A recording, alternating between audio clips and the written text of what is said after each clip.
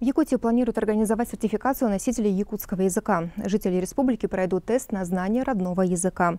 Министр образования Якутии Ирина Любимова объявила аукцион на создание контрольно-измерительных материалов по уровню владения якутским языком.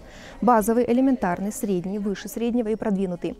На разработку программы тестирования бюджет республики выделил 2 миллиона рублей. Документ подготовят к 20 декабря этого года. По словам организаторов, сертификация приведет к повышению мотивации для изучения якутского языка и повышению уровня знаний.